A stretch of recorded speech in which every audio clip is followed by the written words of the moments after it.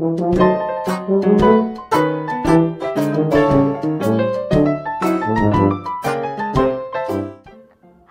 semuanya, kembali lagi bersama aku, Pastel Coklat.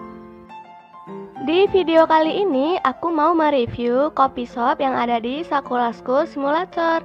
Itu loh, warung kopi yang ada di drama aku, Save My Heart. Udah nonton belum? Oke deh, tanpa banyak ngemeng-ngemeng lagi, kita mulai aja ya. One, two, three.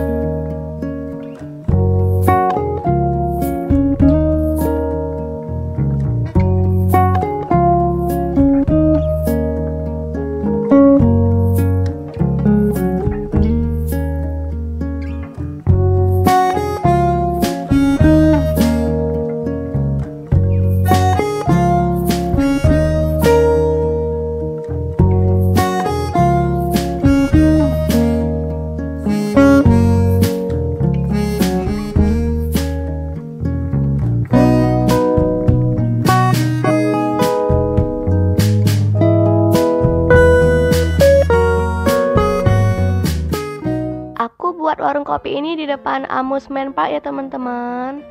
Oke, kita mulai. Nah, di sini di depan jalannya itu aku buat kayak dari batu gitu teman-teman lantainya. Terus kanan kirinya aku kasih pagar. Di sisi sebelah kiri aku buat kolam ikan supaya pengunjungnya itu nggak terlalu bosan. Jadi sekalian ngopi bisa sekalian lihat-lihat ikan. Gitu. Kita coba masuk ke dalam ya. Kolamnya itu terbuat dari betap. Cuma aku lupa itu betap A atau betap B. Terus yang orange-orange itu itu ikannya ya, terbuat dari safety cone. Untuk yang bulat-bulat coklat itu batu-batunya. Nah, di sini ada tanaman-tanaman juga. Terus ada air mancur juga, biar segar gitu suasananya. Jadi yang duduk di luar bisa sambil mendengarkan suara air mancurnya. Di sini itu nama coffee shopnya, namanya Coklat Coffee Shop. Hmm, sama ya, papa namanya juga dari batu-batu biar vintage gitu loh. Lalu di sisi sebelah kanan, aku buat tempat untuk foto-foto. Nah, untuk jalan ke sananya itu, aku buat pijakannya itu batu-batu. Nih yang bulat-bulat ini batu-batu, bawahnya rumput.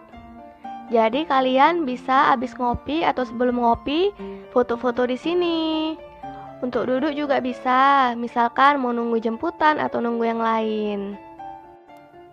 Untuk hiasannya masih sama sih, seputaran batu, rumput, sama ada tanaman juga.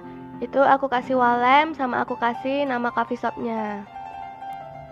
Yang di sebelah sini juga masih sama ya, batu-batu juga untuk hiasannya. Sekarang kan musim ya, cafe juga bisa buat untuk foto-foto. Jadi aku buat juga seperti itu ada tempat untuk foto-fotonya. Kita lihat dalamnya ya teman-teman. Oh iya, di luar aku kasih kursi juga di kanan dan di kiri supaya ada pilihan bisa duduk di dalam atau duduk di luar. Oke, masuk ke dalam. Wih, lumayan rame ya. Hmm. Nah, jadi bangku yang sebelah sini itu aku kasih sofa. Sofanya aku buat warna hitam.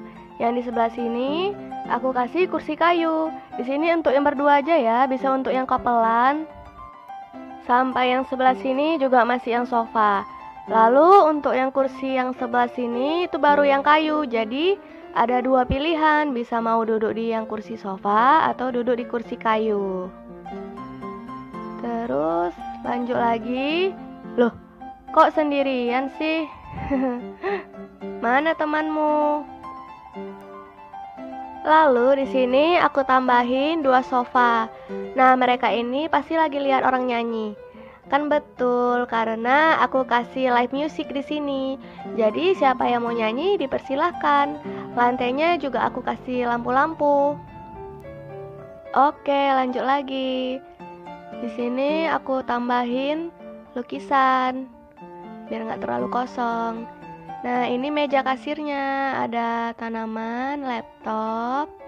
Terus yang di sebelah sini itu menu ya teman-teman. Jadi yang mau pesan baca menu dulu, misalkan belum tahu menunya apa. Terus langsung dipesan di sini, gitu. Di sini aku buat hiasan dari sepeda. Terus yang segitiga-segitiga itu aku terinspirasi dari warung kopi yang ada di dekat rumah aku. Jadi mereka itu buatnya dari kaleng susu yang ditumpuk-tumpuk membuat jadi kayak piramida gitu segitiga. Terus yang pay ini 20% itu yang biasa ya, kan banyak tuh di kafe-kafe. Lanjut lagi. Di sebelah sini itu ada toilet. Tapi maaf banget ya, cuman ada gitu aja toiletnya, kosong banget ya teman-teman. Karena propsnya kurang pas semua 300 jadi ya gitu aja isinya untuk yang toilet cewek toilet cowok. Lalu di sebelah sini ada dapur. Dapurnya juga simpel aja karena kan itu tadi propsnya kurang. Jadi aku cuman tambah dua barang aja di sini. Nah sebelah situ apa ya? Ini kasir. Jadi dari dapur langsung tembusnya ke kasir Terus di sana itu aku kasih juga uh, nama coffee shopnya ya teman-teman. Tuh aku pakai lampu. Wow, kita kedatangan Alan dan Selin nih. Itu loh pemain Save My Heart. Hai teman-teman. Makasih ya Alan dan Selin udah datang ke coffee shop aku. Kapan nih part 7-nya dilanjutin? Ditunggu aja ya. Oke deh. Bagi teman-teman yang mau mengunjungi coffee shop aku, ID-nya ada di description box ya. Oh iya, aku juga mau nunjukin gimana suasana malam coffee shop aku.